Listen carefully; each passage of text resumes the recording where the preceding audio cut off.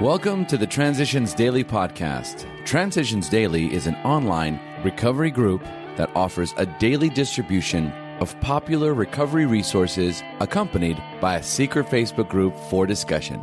We hope you enjoy today's readings. This is Transitions Daily for September 14th, read by Kurt L. from Albuquerque, New Mexico. AA Thoughts for the Day Comfort. When I am feeling depressed, I repeat to myself statements such as these Pain is the touchstone of progress. Fear no evil. This too will pass. This experience can be turned to benefit. These fragments of prayer bring far more than comfort. They keep me on the track of right acceptance.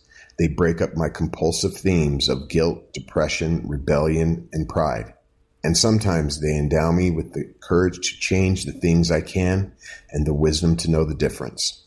Bill W. A. A. Grapevine, March 1962. As Bill sees it, page 110. Thought to consider God enters us through our wounds. Acronyms HELP, Hope, Encouragement, Love, and Patience. Just for today, Upkeep from having fun yet. When my own house is in order, I find the different parts of my life are more manageable. Stripped from the guilt and remorse that cloaked my drinking years, I am free to assume my proper role in the universe. But this condition requires maintenance. I should stop and ask myself, am I having fun yet? If I find answering that question difficult or painful, perhaps I'm taking myself too seriously and finding it difficult to admit that I've strayed from my practice of working the program to keep my house in order. Daily Reflections, page 31. Daily Reflections. Peace of mind. Do we lay the matter before our sponsor or spiritual advisor, earnestly asking God's help and guidance, meanwhile resolving to do the right thing when it becomes clear, cost what it may? 12 Steps and 12 Traditions, page 86, 87. My belief in a higher power is an essential part of my work on step 9. Forgiveness, timing, and right motives are the other ingredients. My willingness to do the step is a growing experience that opens the door for new and honest relationships with the people I have harmed.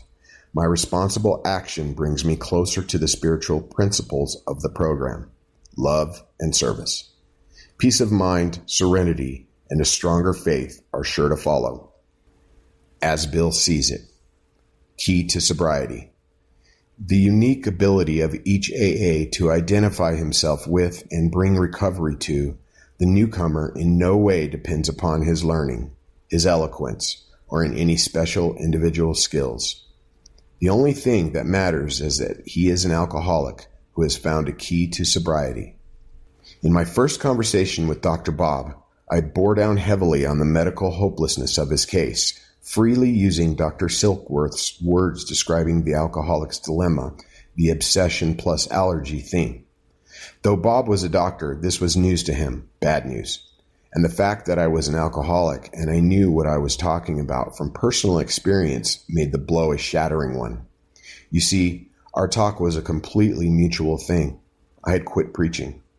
I knew that I needed this alcoholic as much as he needed me. 12 and 12, page 150 and 151. AA Comes of Age, page 69 to 70.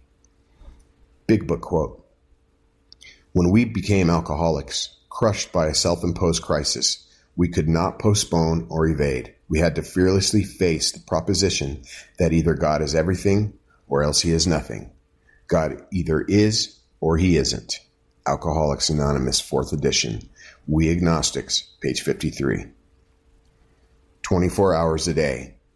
AA thought for the day. How does AA grow? Some of us sell AA as we go about. Little clusters of twos and threes and fives keep springing up in different communities through contact with the larger centers.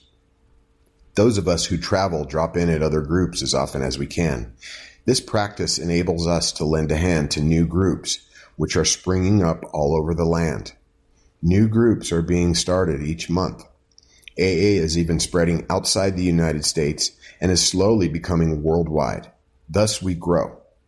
Am I doing all I can to spread AA wherever I go? Meditation for the day. Lord, we believe. Help thou our unbelief. This cry of the human heart is an expression of human frailty. It signifies the soul's sincere desire for progress. As a person feels the existence of God and his power, that person believes in him more and more. At the same time, a person is more conscious of his falling short of absolute trust in God. The soul's progress, an increasing belief, then a cry for more faith, a plea to conquer all unbelief, all lack of trust.